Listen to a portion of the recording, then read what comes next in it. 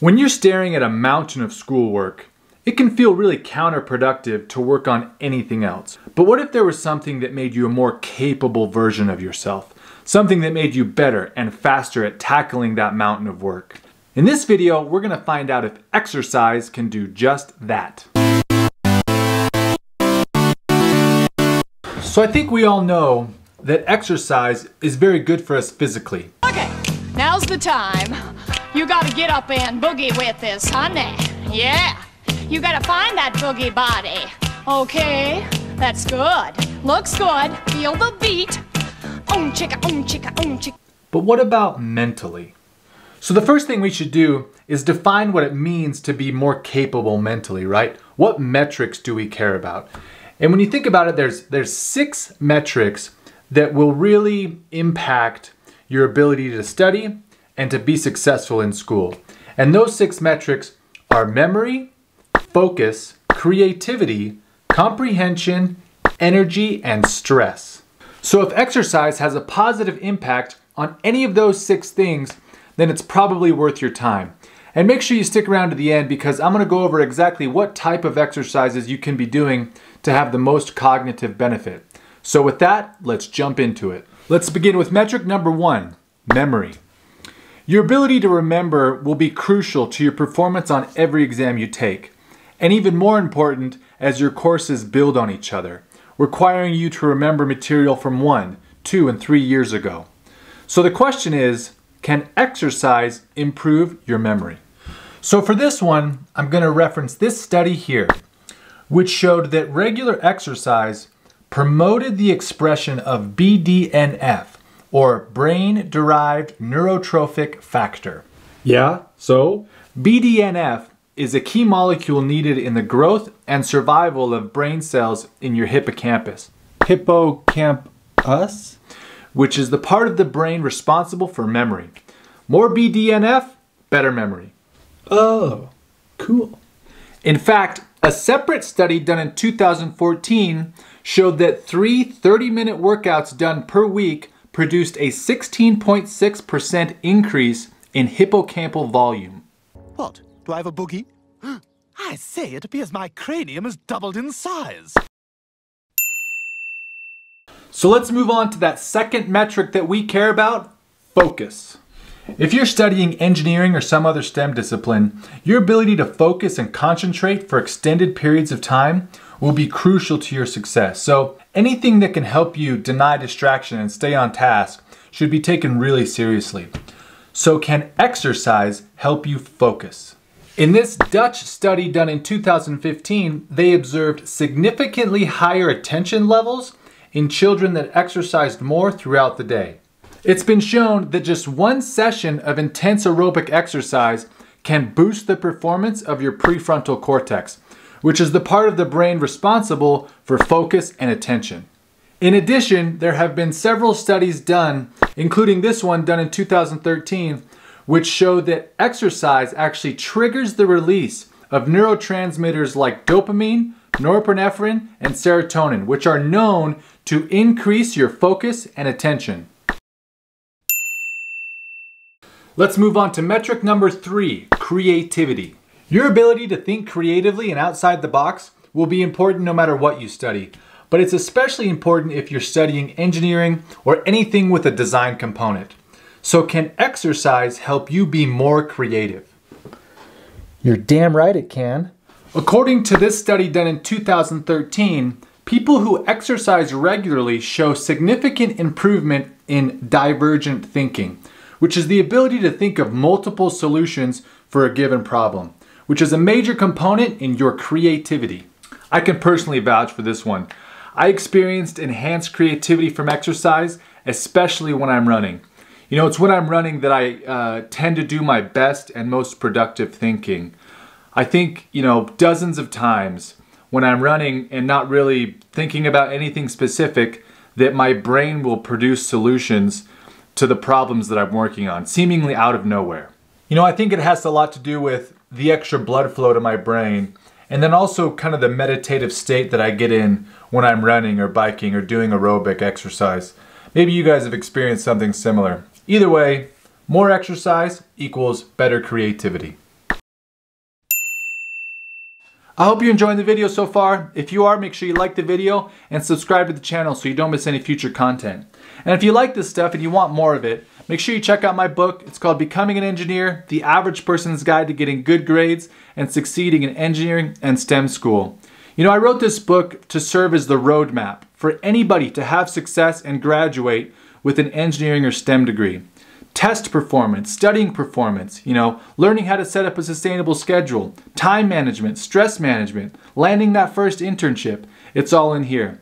It's available in ebook and paperback, and I actually just released the audiobook version a couple days ago on Audible and Apple Books. And to celebrate, I'm going to give away three copies of the audiobook. So the first three comments on this video, I'll send you a free promo code to download the audiobook version.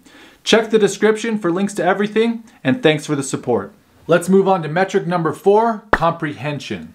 Your ability to comprehend and understand complex material will play a huge role in your success in school and life in general. The better you are at, at understanding and comprehending complex material quickly and successfully, the easier school will be. So the question is, how does exercise impact your comprehension skills? Big surprise, exercise improves comprehension.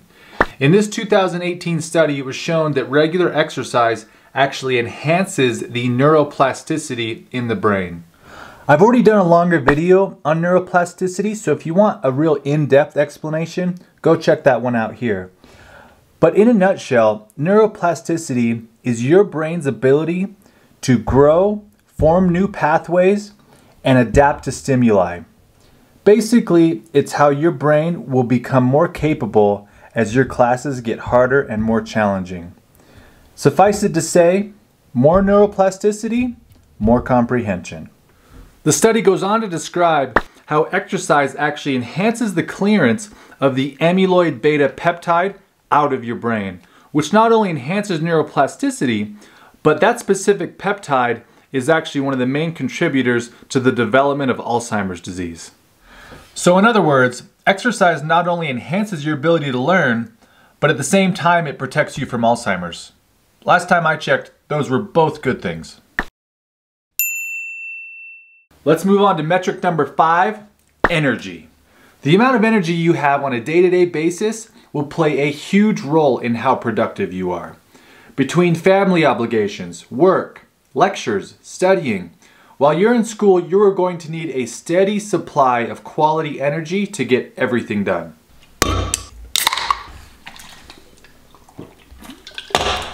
Not that kind of energy.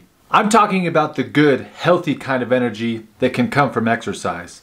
And it might be a little counterintuitive because exercise actually requires you to expend energy, but the science is super clear. Regular daily exercise increases energy in several ways. Exercise boosts the formation of mitochondria in your muscles. And mitochondria are responsible for creating the energy that you use every day, ATP. So more mitochondria equals more energy. Exercise improves the efficiency of your cardiovascular system, which will give you more endurance throughout the day. Exercise promotes better sleep. And the better sleep you get, the more energy you'll have throughout the day. If you're still skeptical about this one, try this out. Next time you're feeling that midday drag or you get home from work and you don't have enough energy to study, go for a 15 to 20 minute jog or bike ride. See how you feel after that. I guarantee you your energy will be higher and you'll be ready to go.